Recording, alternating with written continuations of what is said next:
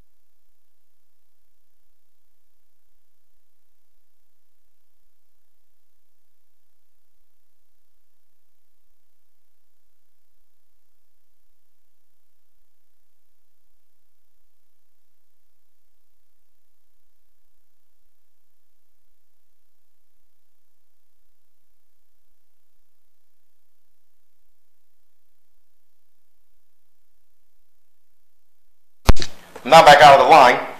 This concludes the videotaping of this sewer.